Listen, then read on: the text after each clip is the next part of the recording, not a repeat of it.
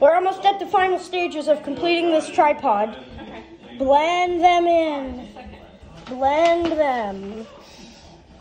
Blend them. Blend them with this because I can.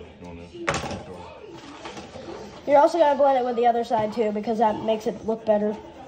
It spreads it out more. Cotton really helps. I was cleaning and like getting the bags. I'm worrying that with the amount of water that I'm putting on my paper, trying to blend in these colors, that it might rip the paper. I know, occasionally need that tape down when you take that down for home. Just them. But hang on. Okay, okay.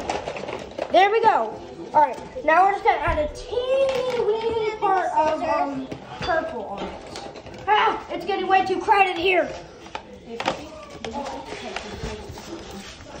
We're just gonna add a tiny purplish tint, Bar- barely noticeable. Dry, dry, so I can color you more. Okay, whatever. Well, it's working. Now, I don't want to record this, so I'm just going to have to color it all gray.